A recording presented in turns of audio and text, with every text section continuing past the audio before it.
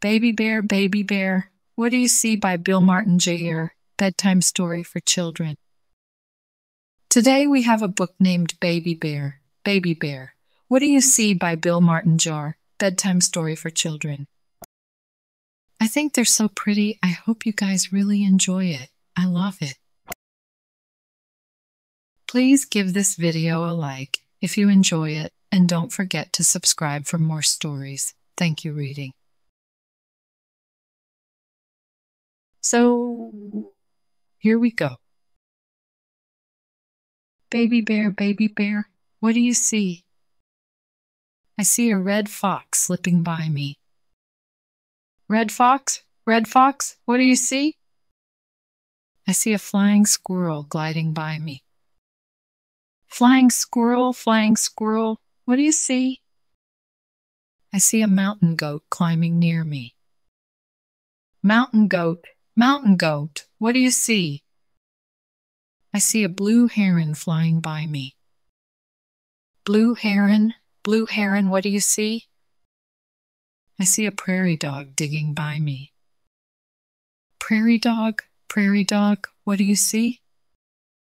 I see a striped skunk walking by me. Striped skunk, striped skunk, what do you see? I see a mule deer running by me. Mule deer, mule deer, what do you see? I see a rattlesnake sliding by me. Rattlesnake, rattlesnake, what do you see? I see a screech owl hooting by me. Screech owl, Screech Owl, what do you see? I see a mama bear looking at me. Mama bear, mama bear, what do you see? I see red fox, a flying squirrel, a mountain goat, a blue heron, prairie dog, a striped skunk, a mule deer, a rattlesnake, a screech owl, and my baby bear. Looking at me, that's what I see.